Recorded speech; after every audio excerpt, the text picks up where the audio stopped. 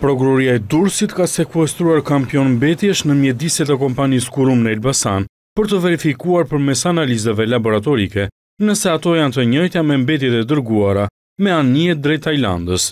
Po ashtu analizat pritet të verifikojnë dhe përmbajtjen e tyre për të parë nëse ka lëndë toksike dhe të rrezikshme.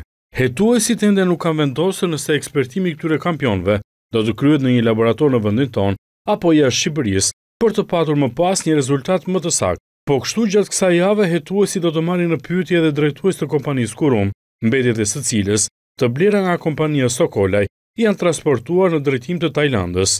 Në ditët në vijim do të japin sqarime edhe zyrtarë të Agjencisë Kombëtare të Burimeve Natyrore, por edhe të Ministrisë së Mjedisit, në lidhje me të gjithë dokumentacionin e përgatitur nga këto institucione për ngarkesën që transportuan dy anijet e nisura nga Porti i Durrësit në fillim të muajit korrik.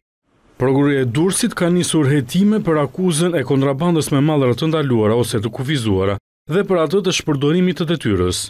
Gjithashtu mësohet se anijet që fillimisht u ankoruan në Singapor pritet të kthehen në Shqipëri në fund të muajit shtator.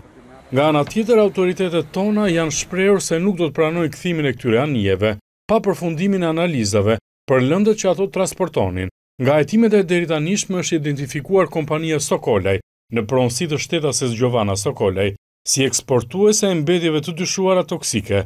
Kjo e fundit ka dëshmuar më herët se i ka blerë këto mallra si jo toksike nga shoqëria Kurum, që rezulton edhe prodhuese e tyre.